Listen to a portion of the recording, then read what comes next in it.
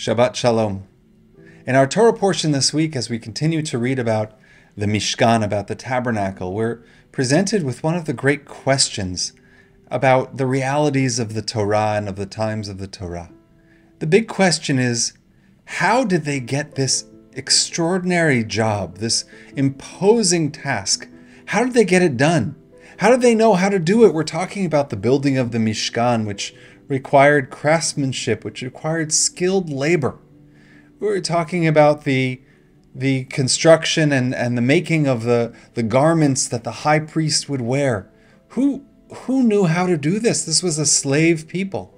How did they have the know-how to walk into the wilderness, to embrace their freedom, and then to construct this majestic edifice that would be both beautiful and practical at the same time because it had to be transported from place to place. Where did they know? From where did they learn how to get this job done? Nachmanides, Ramban, has a beautiful interpretation. When the verse says, Vayavo kol isha sher nisa'o libo, that everyone who whose heart lifted them, they came. V'chol asher nadva rucho, everyone whose spirit was moved to make them come and join this effort. Heviu et trumat Hashem limlechet oel moed, they brought the offering for the work of the, the tent of the meeting, l'chol avarato livigdei hakodesh, and for all of its service and, and for the, the sacred, the sacral vestments, the clothing that had to be brought as well, that had to be constructed as well. And Nachmanides says on this verse, Nachmanides says, Who came? There were no experts who came to, to join in the construction pro- uh, progress and process. Maimonides says, Ki lo bahem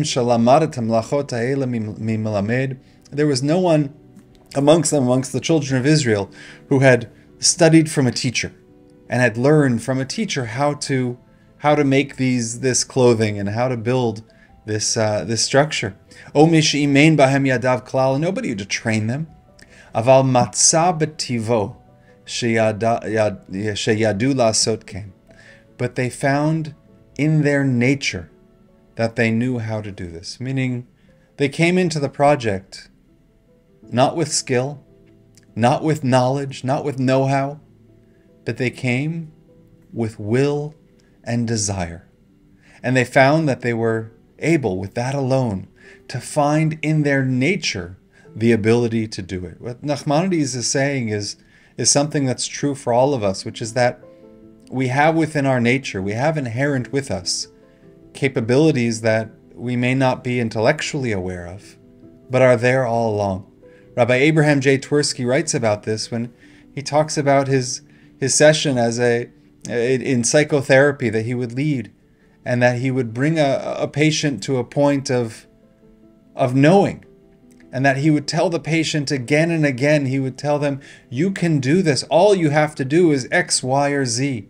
And the patient would say I, I can't do it. I can't do it. And then at some point there would be a breakthrough moment. And the doctor would say this is what you have to do x y or z. And the patient would say well of course i'll I'll do that. Why have you never told me this before? And he said, Sometimes we have something buried deep within our nature that comes out at the right moment and that presents itself when we most when we most need it. I share this thought because we are being called on in the world in our community to do things, to speak out, to say things, to engage in ways that maybe we never thought was part of our, our nature. We didn't know that it was part of our nature. This week was, was a very difficult week for our community, for the Jewish community of Montreal, because we saw behavior targeting our community that we really hadn't seen before on this level. It seems like every week there's a new threshold that's crossed, there's a new limit that that's exceeded and and the group of anti Israeli, anti Semitic protesters who gathered outside of Jewish community buildings, including Federation Building, including the Spanish and Portuguese synagogue. And they uh, yelled hurtful and, and genocidal wishes targeting the Jewish community and Jews. Horrific. And we can spend our time talking about why it's wrong.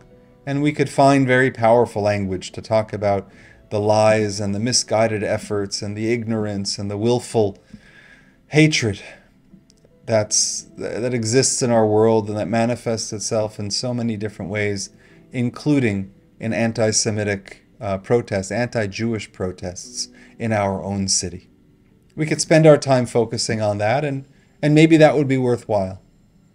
But I'd rather, in this moment of reflection on this Shabbat and before this Shabbat, to talk about our response and to talk about what it means to, to be called upon in this in this year, in Tav Shin Pei Dalet in 2024, to be called upon to respond in ways that maybe we never knew was part of our of our nature, of articulating good, of articulating what it means to to dream and to aspire to a just society where terrorists and murderers are held to account and where Jews are allowed to live in peace in Israel and in Canada and wherever wherever we might be.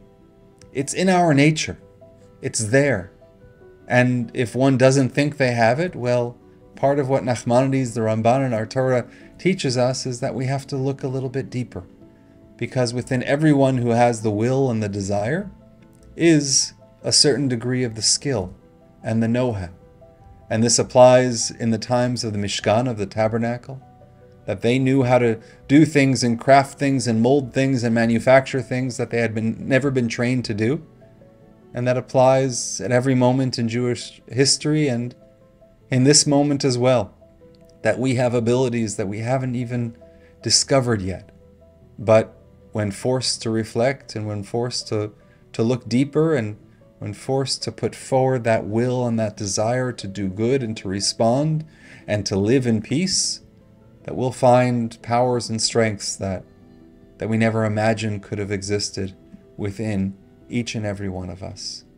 Wishing you a Shabbat Shalom, a Shabbat of, of peace, of safety for the Jewish community and for the entire world. Shabbat Shalom.